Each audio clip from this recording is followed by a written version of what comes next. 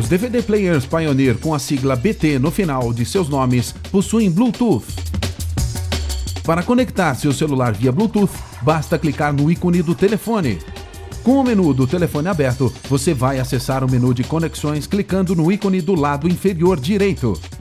Você poderá selecionar a opção de dispositivos especiais e em seguida o modelo do seu telefone celular. Caso o modelo do seu telefone não apareça em dispositivos especiais, clique no item de conexão e em seguida na lupa para detectar o Bluetooth de seu aparelho. Após detectado, será solicitado o código PIN, bastando digitá-lo para parear o seu aparelho. Pronto, agora você poderá usar seu celular sem tirar as mãos do volante.